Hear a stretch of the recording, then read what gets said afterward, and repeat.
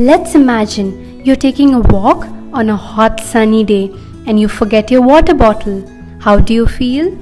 Thirsty, right? So do I. But why do we feel thirsty? Let's find out. Did you know that about 60% of your body is water? Yes, we have so much water in our body, but this keeps fluctuating, right?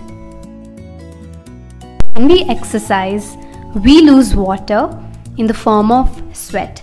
So, remember the last time you exercised and had a lot of sweat all over your face? Yes, and by this, we lose water in our body and hence feel thirsty. And when we drink water, to quench our thirst, we replace the water that was lost during exercising. But remember, we do not only lose water in the form of sweat, we also lose water in the form of excreta and while breathing.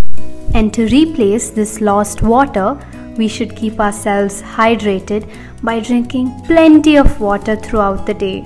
But what happens if we don't drink water and keep ourselves hydrated? Dehydration causes fatigue, low blood pressure, and a dry mouth. But these are just a few symptoms. Dehydration can also cause severe health issues.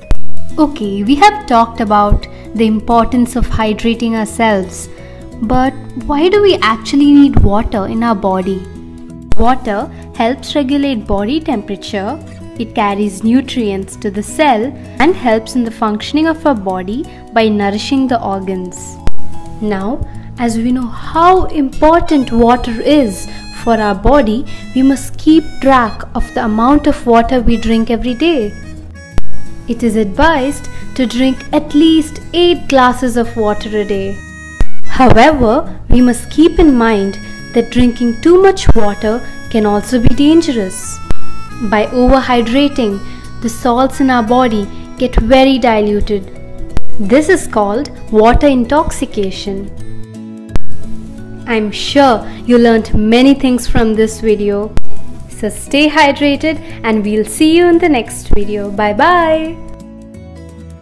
Don't forget to subscribe to Kids Easy Learning.